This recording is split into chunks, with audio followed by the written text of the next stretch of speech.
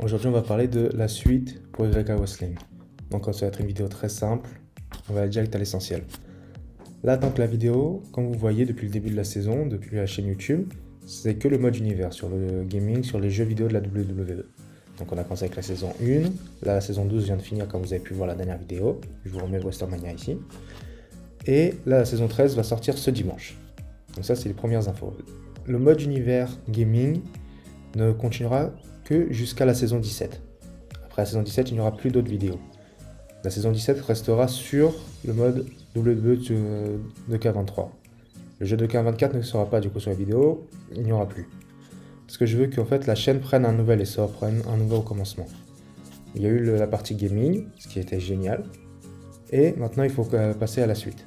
Donc le but c'est que puisse, je puisse partager mon amour du catch et que vous également, vu que si vous êtes là, c'est que vous aimez le catch également, qu'on puisse montrer le plus possible de pourquoi le catch, on aime ça, pourquoi ça fait partie de nos vies, pourquoi on aime ça.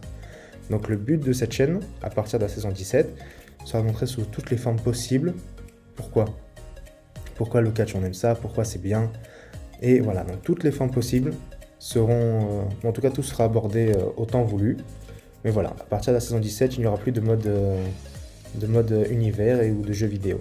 Il y aura peut-être des, comment dire, des replays des matchs qui ont déjà été faits sur la saison précédente pour avoir un aperçu ou je sais pas, pour des, des medleys de, des différents matchs, des différentes choses, mais que ce sera avec du contenu qui aura déjà été sorti sur la chaîne.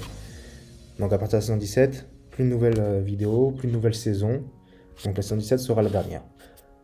Il y a également les réseaux sociaux en questionnement pour l'instant. Donc, est-ce qu'on va, est-ce que je vais retourner sur les réseaux sociaux avec la chaîne YK Wrestling pour euh, développer un peu plus? Je mettrai en description. Si vous voyez en description qu'il y a les liens, c'est que du coup, c'est revenu sur les réseaux sociaux. Donc, si vous voulez vous abonner, allez regarder. Pour l'instant, la chaîne, vu que c'était du jeu vidéo, n'a été quasiment que en anglais. Donc là, quand vous m'entendez, je parle en français. Donc le but est peut-être de faire les deux, français et anglais, car là, le catch, la WWE est en train de revenir euh, fortement en France, comme on le sait avec le, PLE qui est censé arriver très prochainement en France. Aujourd'hui, on parle que de, depuis le début, je ne parle que de WWE.